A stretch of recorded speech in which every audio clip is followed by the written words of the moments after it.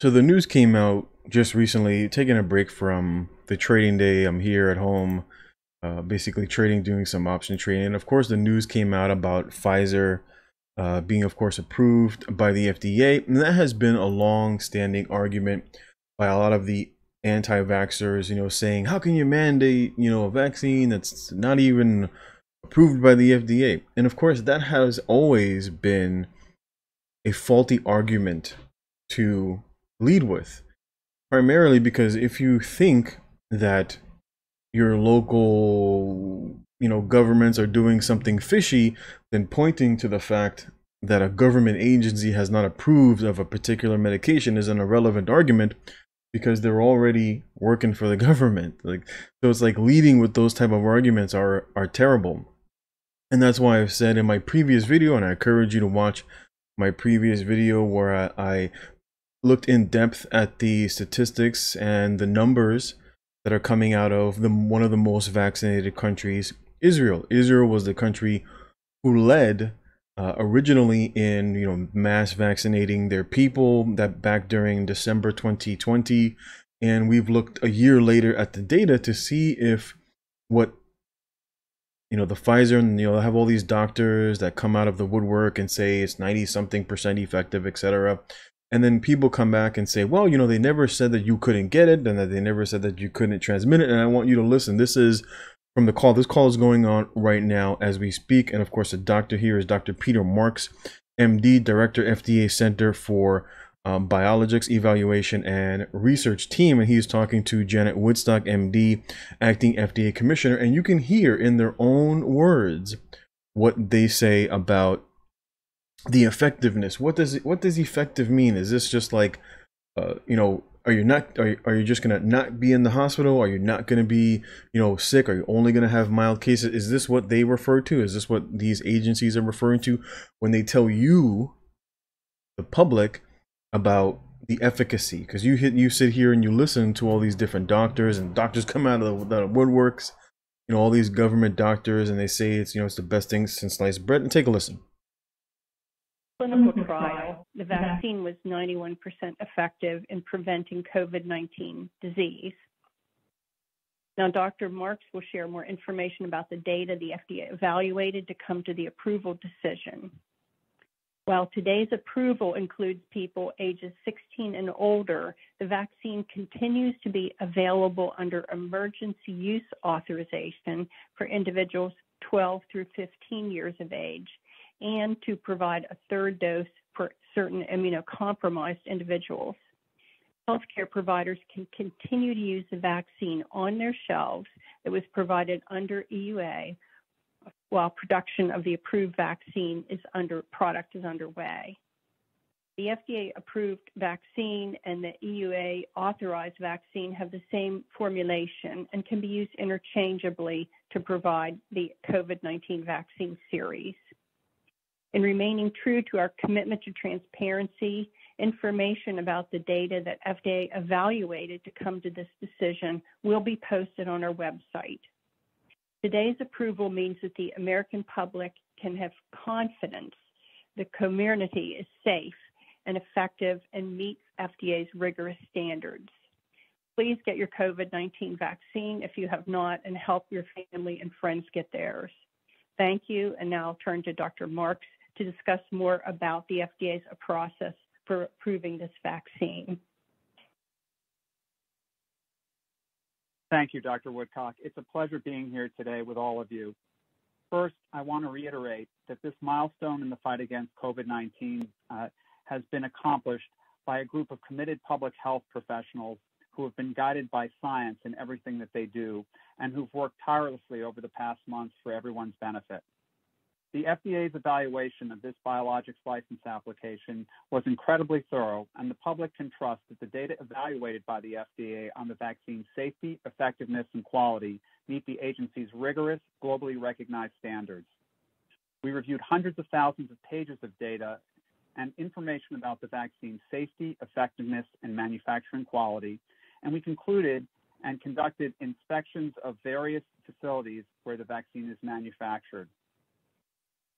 I'd like to share more about our evaluation of the clinical data for this vaccine, which, as Dr. Woodcock noted, is also detailed in many documents that will be available on the FDA's website.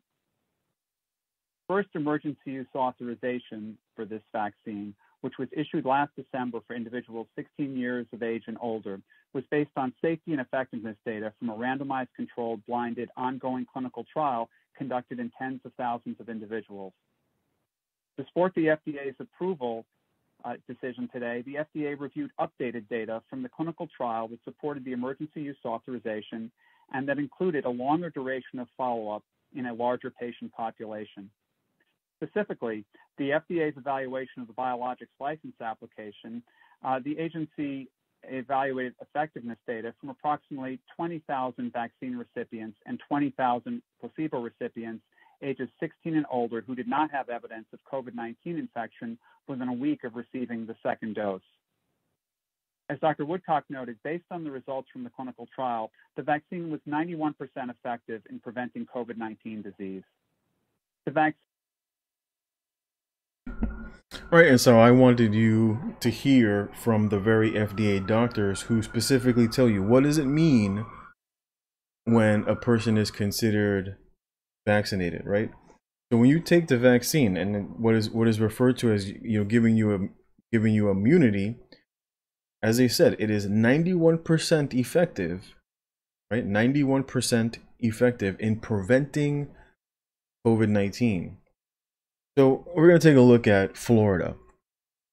Now, everybody, especially the news, would have you imagine that Florida, like nobody out there vaccinated. Right? They're just out there willy nilly partying it up. They're like, fuck COVID, right? But that's not the case. There's a huge population um, that is vaccinated right here. As you can see, of the 19 million people that live in Florida, 66% of them are vaccinated. Overwhelmingly, those who are geriatric are over 80%. So people who are 60 and above are 80 and 86% vaccinated. The primary people who are I would say less less than 50 or the show are less than 50% are people from the age of 29 and down. And so it just goes to show you that it's not that these people are are not vaccinated. And of course, post vaccination, you would expect to see less cases, right? So all of 2020, a lot of there were a lot of people in Florida who were not vaccinated. And then eventually, because of lack of distribution, many of these individuals, especially older people, you know, kind of lined up because you're still going to have your average everyday people, even in a red state, that are going to go out and still take it. Because not everybody is, you know, that right wing, you know, you're a nut job, you're an anti vaxxer sort of individual. You have a, typically have a mix crowd in many of these states, even in red states and places like Texas as well. So with a overall 66% population, what do the numbers look like in Florida? Well, let's take a look. So as you can see, to, as of today, today is the 22nd, Florida has a, seven-day average of 212. Looking back a year, where there were no vaccines, we'll go back to August, we'll go back to August 22nd, and you'll see that the average seven day average was on actually on the decline, as you can see by the chart. You can easily Google this information. This isn't information that is obscure. This isn't some sort of, you know, uh, crazy, you know, conspiracy theorist website. This is literally just type the shit into Google and you can see it with your very own eyes. How effective, right? That 91% that they refer to about you not catching it. These are deaths. These are not cases. These are deaths. So I know everything is cases, cases, cases, but in terms of deaths, and we'll just let's just pretend that all these deaths are are legit. Every single one of these people, and we'll just say every one of these persons legitimately died of COVID-19. Every single death certificate was on the up and up. There was no fishy business. Let's just pretend. Does this look like something that is showing effectiveness, especially from what the FDA doctor said is at 91 or 93% effectiveness at you contradicting uh, contracting the disease. Now let's look at the cases. At the very least, well, maybe there are more older people and again, I've said previously before that typically when you look at the flu vaccine, the flu vaccine is very ineffective uh, for older patients. Like you can look at that video yesterday. I linked the article uh, as early as 2019 because the flu disappeared in 2020 uh, and probably in 2021. And of course, in 2019, the flu vaccine for patients who were like 60 and over, it was like 20 something percent.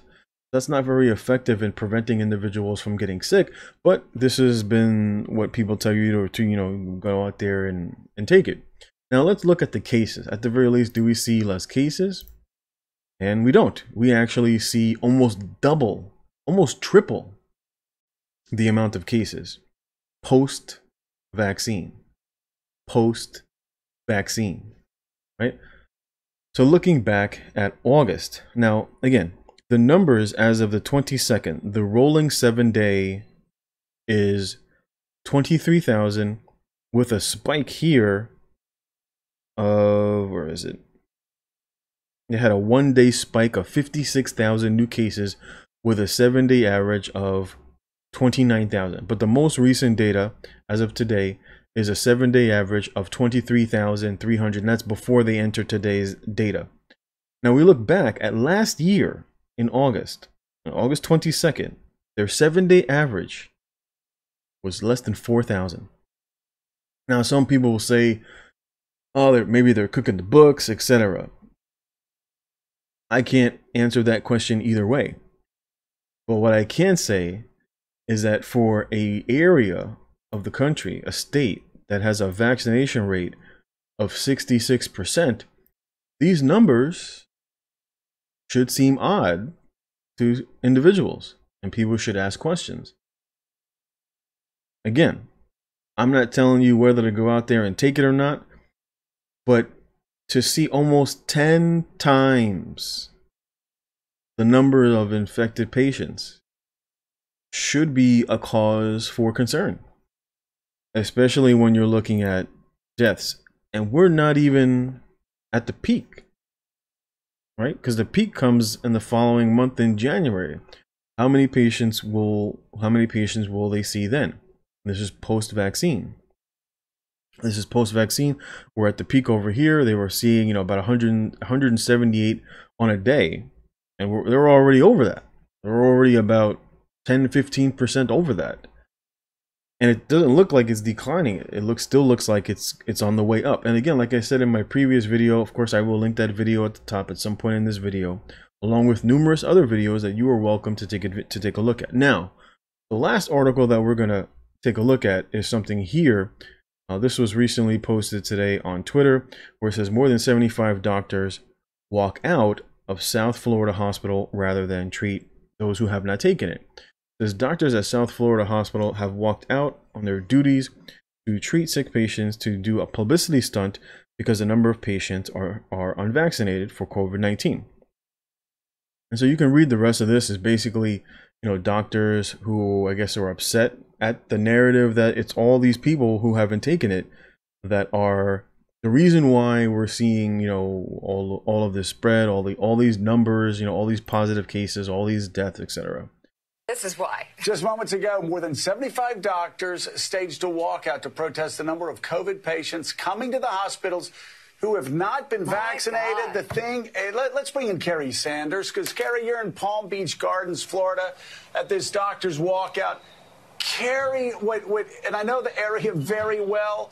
What Americans don't understand is for every unvaccinated person that's filling up an ICU bed, that means with the hospitals jammed, somebody with a heart attack, and I've known somebody in this position, goes there, has trouble getting in, can't get treatment, can't get a bed. It is a nightmare for the doctors. It is a nightmare for the nurses.